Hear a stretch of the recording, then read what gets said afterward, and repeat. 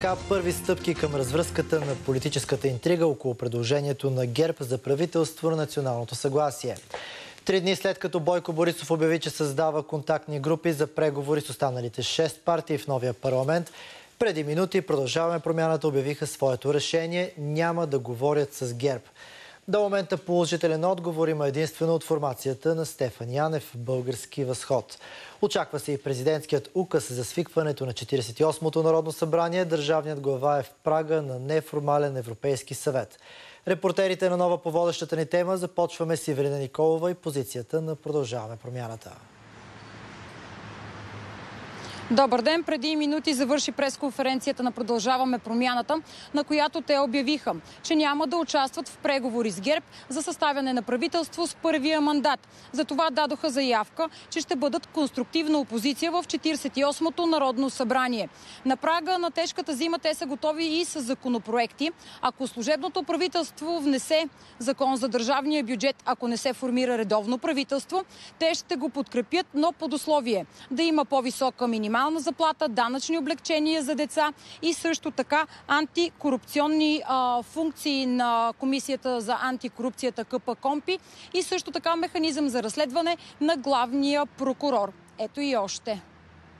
Продължаваме промяната, обявиха решението си. Биха ли преговаряли с ГЕРБ? На Националния съвет единодушно беше взето решение, че продължаваме промяната ще бъде конструктивна опозиция на кабинет на ГЕРБ. Над половин милион избиратели подкрепиха продължаваме промяната с ясното послание, че ние няма да влезем в коалиция на кражбата означава, че няма да отидем на разговори с ГЕРБ за първия мандат. По тези политики ще говорим с всички политически партии в рамките на парламентарните комисии и парламента. За българските избиратели наистина най-важното е как ще минат тази зима. И това са политиките, по които ние наистина ще бъдем конструктивна опозиция. Ще ги изчета. Първо, закон за антикорупционната комисия с разследващи функции. Това беше зададено и в миналия парламент като наш огромен приоритет. Въвеждане на механизъм за разследване на главния прокурор от български съдя. Увеличаване на минималната работна заплата на 50% от средната работна заплата от 1 януари или това означава увеличаване от на 860 лева за минималната работна заплата увеличаване на пенсиите с 20%, за да могат те да продължават да изпреварват инфлацията.